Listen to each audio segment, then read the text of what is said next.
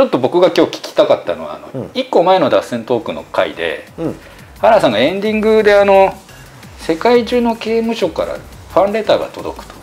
いやまあごちょっと語弊あるけどね、うんうんうん。あのファンレターは、うん。こう世界中から普通に届くんですよ。はいはいはい。あ本当に。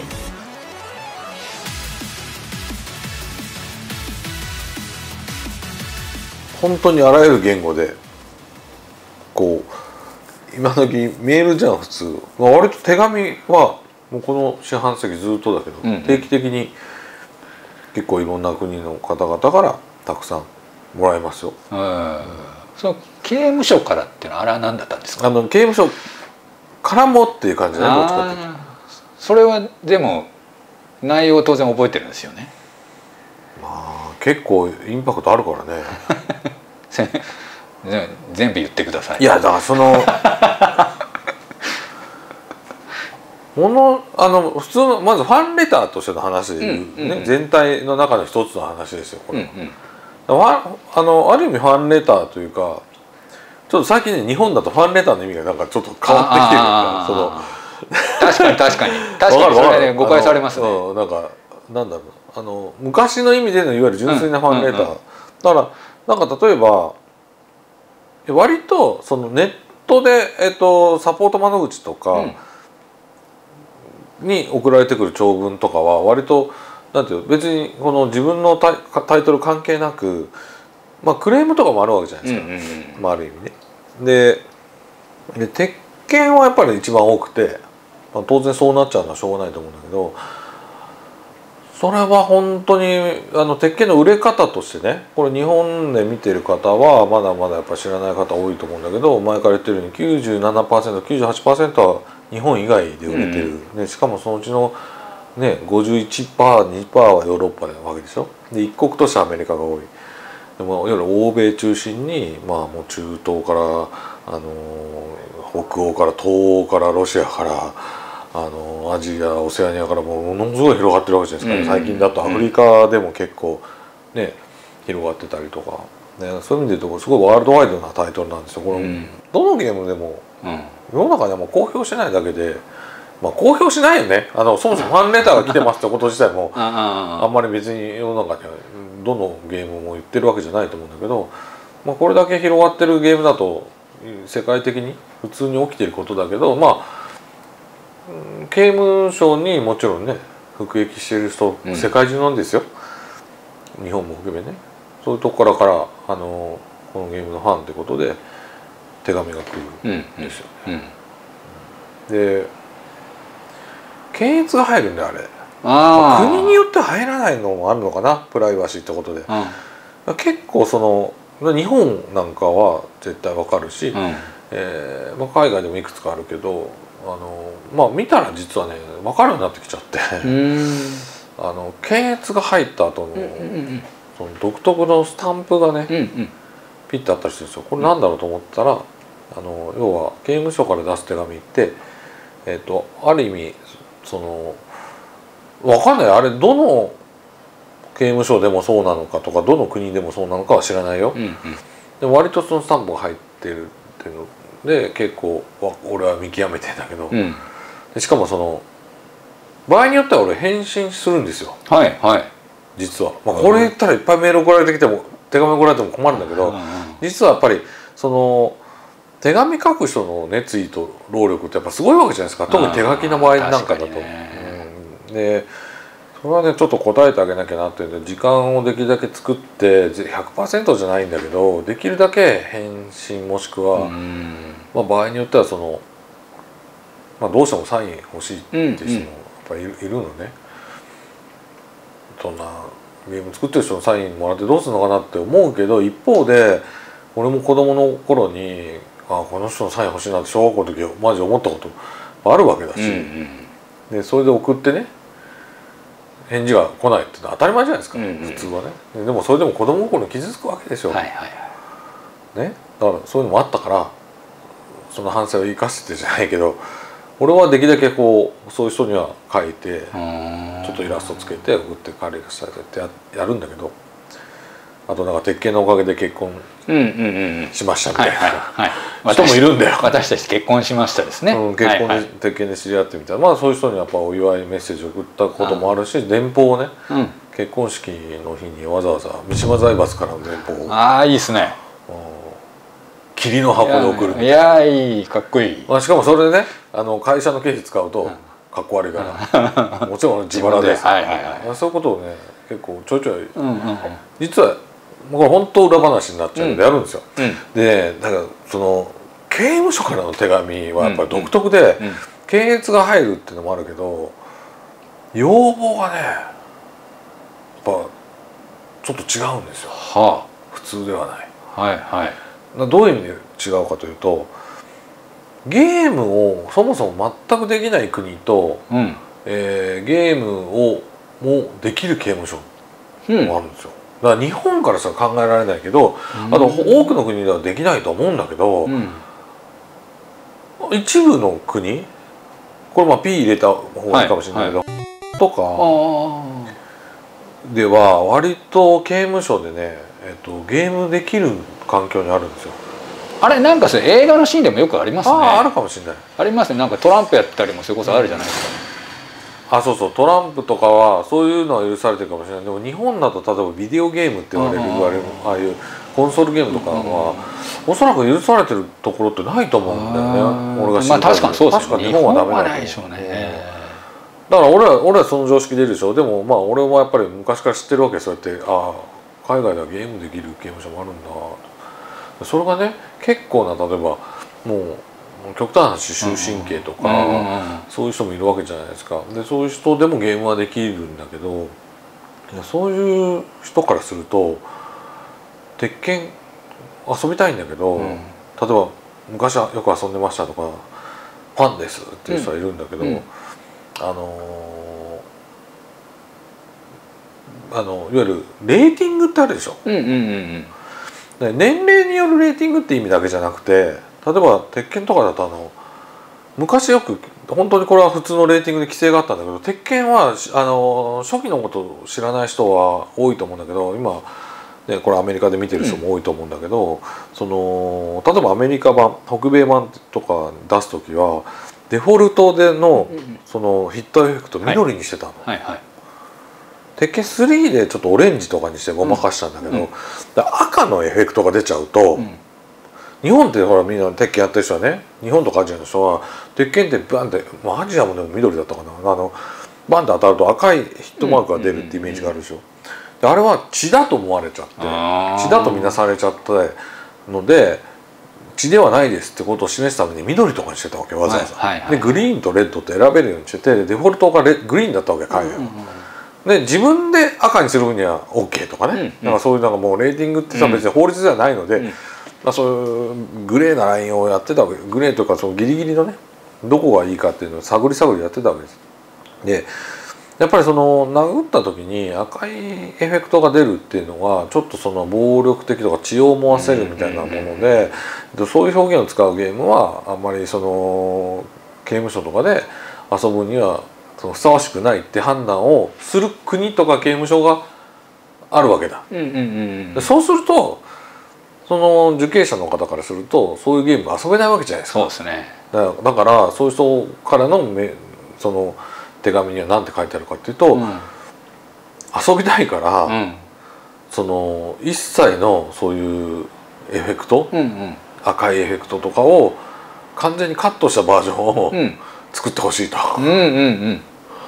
そうしないとそのうちのそれが国なのか州なのかそれとも刑務所なのかわからないけどもそこでは許可されないんだと。へっていうことを切実にこう書いてくるとかね。えそういうのがあるんですよ。それはさん何往復もしたりするんですか？あのね経験上、うん。あのそんなに往復できない。あのほとんどは来て返すでレスポンスがあまああるケースもあるけど、うん。そのなんていうのかな多分まあ検閲とか厳しいと難しいんだろうね。あ外の情報をすごくちゃんと返ったりするから、うんうん。実は本人に届いてないケースもあるんじゃないかなと思うね。あー確かにそうですね。まあチェック機能働きますもんね、それこそね。もうずっと入ってる方とか、まあ、消費者というかその消費者でもある意味そのないわけでしょ、うんそのファンだけど、うんお金払って買えるわけではないので、うんまあでもそれでもねさっき言ったようにそのの普通の方でもやっぱりめ手紙を送ってきてくれる方と俺まあツイッターとかにできるだけねちょっと全部は無理だけど、うん。まあ返信したり話したりするじゃないですか。まあ手紙書いてくれねわざわざ手書きで書いてくれた人とかにはちょっと返事しようと思ってできるだけやってるけどその分け隔てなく、うんうん。うん。やっぱそのうんある意味たくさんの娯楽がない中で、そのね手紙がね返ってきちゃうっていうのは多分本人からししたら多分すごい嬉しいことなんだろうなと思ってやるけども、あまあなかなか時間もねかかるし。ーそうですね。しかもそういう返信でやっぱり会社の経費使うわけいかない、うんうん。いかないわけじゃないんだろうけどうんうね、ん。もうそういうのも全部自分のねあれでやってるけど俺今まで25年間ずっと27年かそうしてきたはい。あのだから郵便局行ってあの一回紙引くんですね。何番っていう紙引いて。そうそうそう。ちょっと待っ国際郵便で。て あそこちゃんと。逆に言うとあんまり国あんまりそのワールドワイドに「いや結構来んだよ」でファンレターに返事したんで 経費精算しますなんて、うんうん。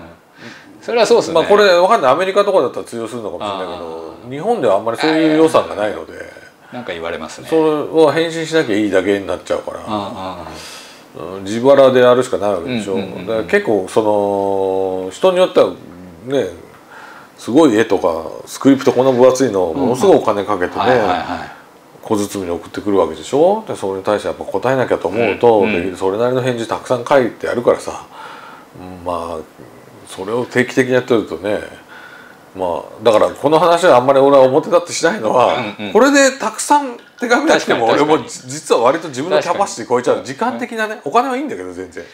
で割と割と俺もそこ真剣に返しちゃうから。いやいやだから原さん本当一人一人のファンに対していやね。全員ではわけいかないけど、うんうんいや実はねだからさっき言った細かいことは俺2つトラウマがあるのよ。あはいはさっき言ったその小学校の時にうん。自分の好きなね作家の人にうんうんうんうん。あのバカだからさ小学校3年生ぐらいっていやバカって言わないよ。その小学校3年生とか2年 ,2 年か3年かな。まあだから言うたら8歳とかさ9歳とかレベルじゃん。まあそのぐらいの頃ってあんまり知恵も聞かないから、うんうん。その往復はがきとかにさこうあサインくださいみたいな感じで、まあ、できるだけ自分なりに丁寧に書いてまあもちろんそんな返信来ないわさ、うんうんうんででも子供心にはあれどうなったんだろうってそうですショッねクなわけじゃん。期待してずっと毎日ポストをね覗くわけですからねあれ。でそれがちょっとショックだった、でもう一個のトラウマが今度逆の立場であのロシアってあの今でこそあのイグロミールって言われるゲームショーとか、うんうんうん。あのメジャーなゲームショー実はあるんですよね。スクワでね。はい。でだけどあのいわゆるソ連が崩壊してロシアとしてゲームのショーがあのいわゆるまだ今みたいな規模じゃなく、行われ始めた一番最初の頃に俺サウジアラビアもそうだったんだけど、そのその初期の頃にちょっと呼ばれて実は行ってるんですよ。そういうね俺はあの割と他の人とは未開拓なあの国の初期のゲームショーの一初期もしくは第1回とかのゲストだったりするわけ、はいはいはい。意外だと思うけど。まあそれだけその鉄拳ってゲームがねそういうところでも割と普及してるって意味なんだけど、うんうん。で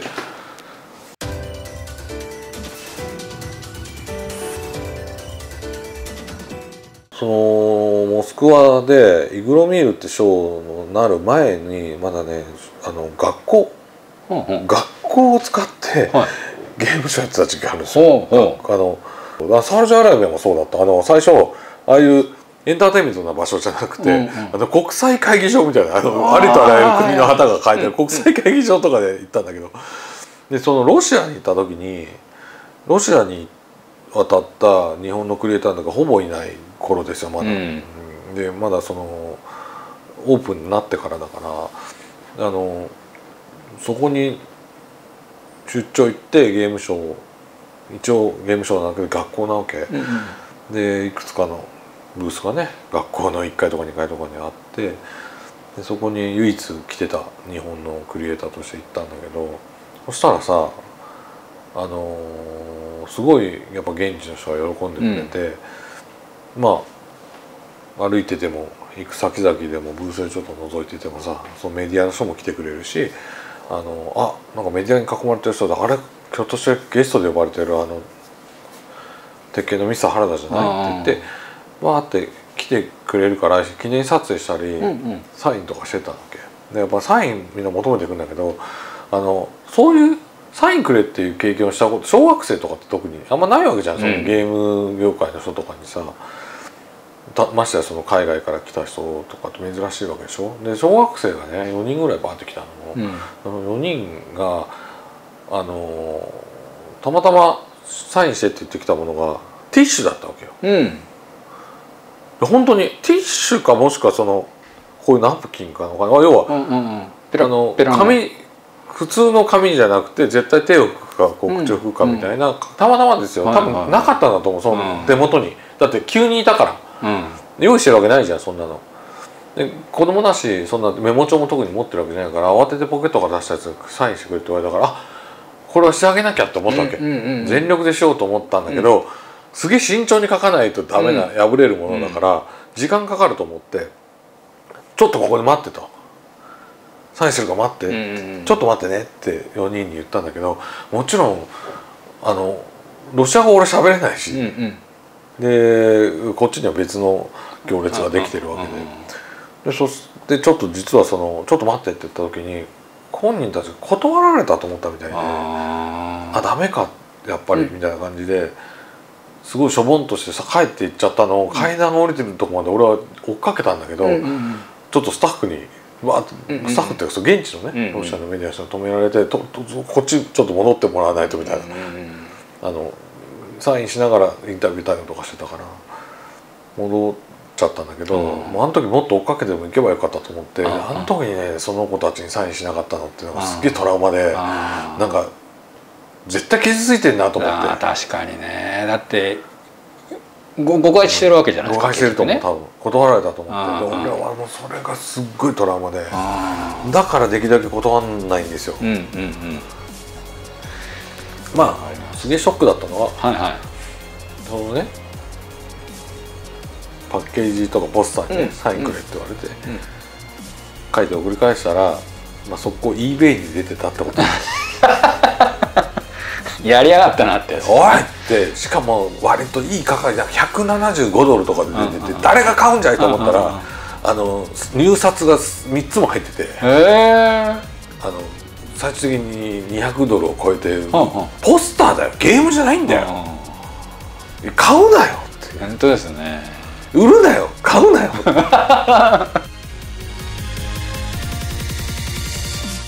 ね？ほんとほんと。200なんのポストでゲームパッケージだったらまだ。ゲームだったらゲームが入ってるから分かるけどその、まあ、ポスターもかなり大きいポスターだったから珍しいっていうのもあったかもしれないけどそういうさ俺に言ってきなっていうそのああ確かにそんな大金払うぐらいだったらさものによってはさだから珍しいものとかもスティックとかのファイティングスティックとかだと、マジでありえない価格で売ってる。ファイティングスティックって最近高いじゃん、うん。元が、はいはいはい。そういうのでなんか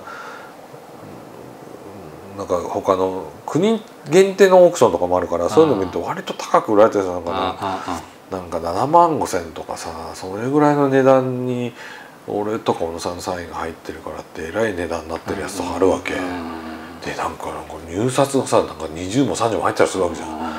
いやもうちょっとさそれ俺俺らに言ってきなっつって。確かにね。エボに来いよそそのそのそんなそれにね10万近くも払うんだったらエボに来ればうんサインしてやるしは何だったら郵送してこいと。うんうんちょっとちょっとスティック郵送されてきたら困るけどうんパネルとかさパネルとかその絵のさ